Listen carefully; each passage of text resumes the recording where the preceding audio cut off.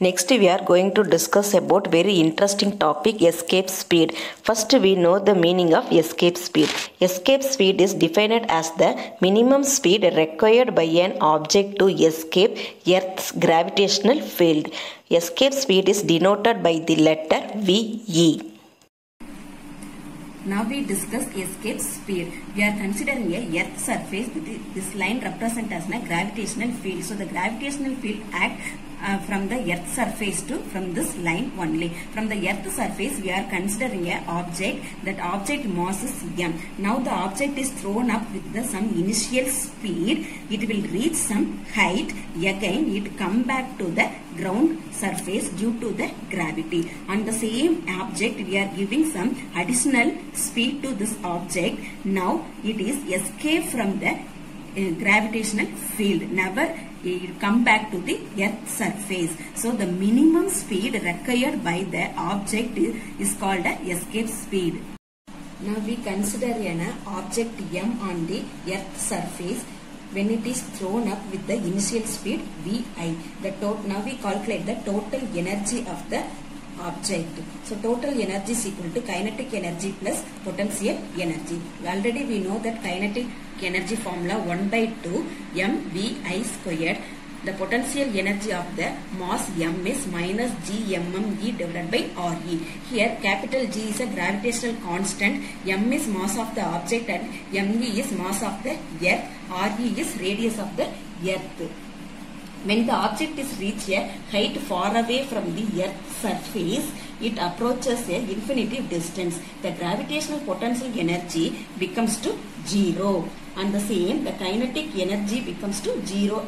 Therefore, the to total final energy of the object becomes to zero. This, uh, this is a minimum speed and energy to escape the object from the earth surface. So here the final energy EF is equal to 0. According to the law of conservation of energy, we know that EI is equal to EF.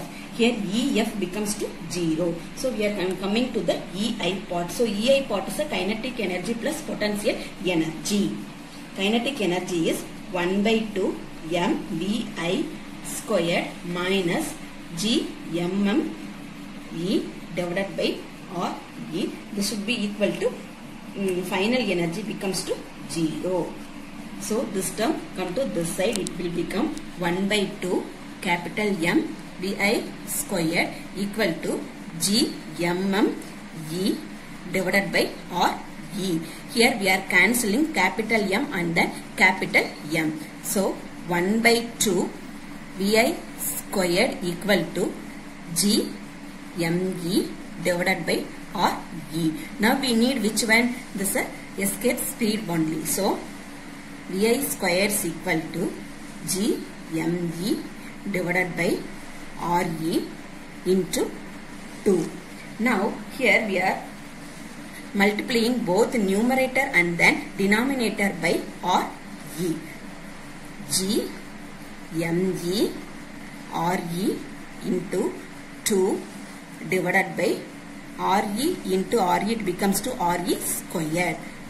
So 2 G M E RE divided by RE squared. Now we are seeing GME divided by RE squared term. GME divided by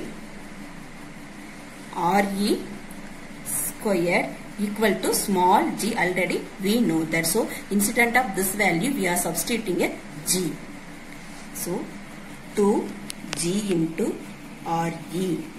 Vi square is equal to 2 into g RE. But we need a VE only. So Vi is equal to square root of 2 g RE. So incident of Vi here we are using a VE because that escape velocity denoted by the letter V is equal to square root of 2g or E. So this is an escape speed of the object. Now we are seeing this equation that escape speed depends only the two factors that is an acceleration due to gravity g and then radius of the earth or GME. Acceleration due to gravity is 9.8 meter per second square. Radius of the earth is 60 6400 kilometer. So the escape speed of the object equal to 11.2 kilometer per second. So this escape uh, speed does not depending upon the mass of the object and the direction. In which direction we are throwing it does not depending upon the direction. Next we are going to discuss about satellites, orbital speed and time period. We are all living in modern world with sophisticated technology.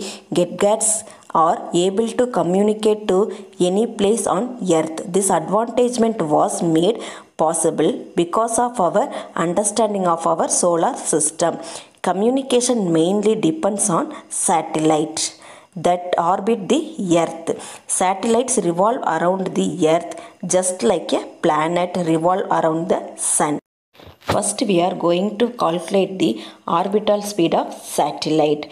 Now we consider a satellite, it is revolving around the earth. Here mass of the earth is capital ME, mass of the satellite is M, RE is radius of the earth. If the satellite is present at h distance from the earth surface, a satellite of mass capital M to move in a circular orbit, centripetal force must be acting on the satellite. This centripetal force is provided by the Earth's gravitational force. We know that centripetal force is provided by the Earth's gravitational force. Here centripetal force is mv square divided by r. Here r equal to r plus h. So mv square divided by incident of r we are writing re plus h equal to gmm e divided by re plus h squared. Now we are cancelling the terms m and then m re and then re square. So the remaining term becomes to v squared is equal to capital GME divided by re plus h. So we need a orbital speed v only. v is equal to square root of gme divided by re plus h. So from that equation we know that if the h is increasing that the speed of the satellite is decreased. Next we calculate the time period of satellite. We are using the speed formula here. Speed v is equal to distance divided by time taken. Distance equal to 2 pi into re plus h. We, uh, already we know that v is equal to square root of gme divided by re plus h. Now these two values we are substituting this formula. It becomes to square root of gme divided by re plus h equal to distance equal to 2 pi into re plus h time taken is a t. Now we find the time taken t only. So t is equal to 2 pi into re plus h divided by this term come to the side square root of gme divided by re plus h. Now this denominator term, it goes to numerator. We are writing their reciprocal. 2 pi into re plus h into square root of re plus h divided by gme. Now we are taking out this re plus h from the square root. It becomes to 2 pi into re plus h into re plus h power 1 by 2 divided by the same gme in a square root only. So square root of gme. Now we are multiplying these two terms. We are adding their powers. Here the power is 1. Here the power is 1 by 2. Already we are studying a max. So 1 plus 1 by 2 is equal to 1, 1 2 is 2, 2 plus 1 3, 3 the denominator is 2. So it becomes to 3 by 2. T is equal to 2 pi into Re plus H power 3 by 2 divided by square root of GME. Now we are squaring on the both side it becomes to t squared equal to we are squaring a 2 pi it becomes to 4 pi squared and then re plus h 3 by 2 into square no so 2 we are using. So we are cancelling this 2 and this 2 the power only 3 and then square root of GME we are squared. It becomes to GME only. So t squared is equal to 4 pi squared RE plus H power 3 divided by GME 4 pi squared divided by GME is a constant. We are considering it is a constant term. It is represented a letter C. So C is equal to 4 pi squared divided by GME. T squared is equal to C into this term becomes to constant. So C into RE plus H power 3. This relation gives the uh, Kepler's equation.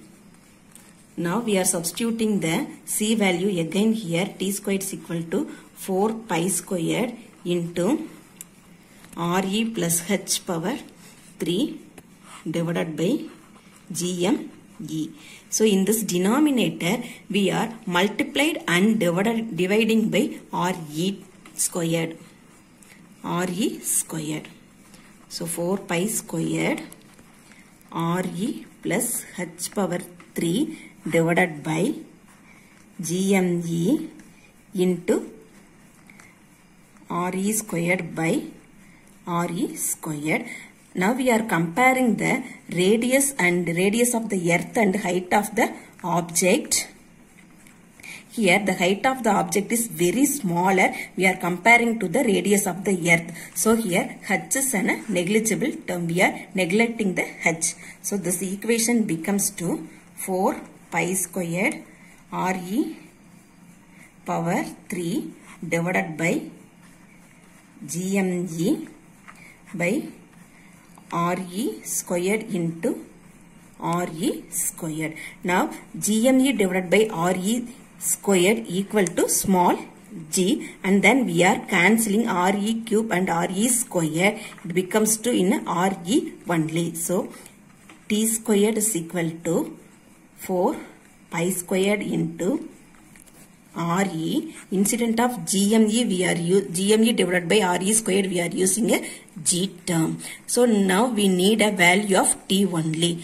T is equal to that 4 pi squared we are squaring it becomes to 2 pi and then this only for a square root. So re by g square root of re by g. The time period of satellite t is equal to 2 pi into square root of re divided by g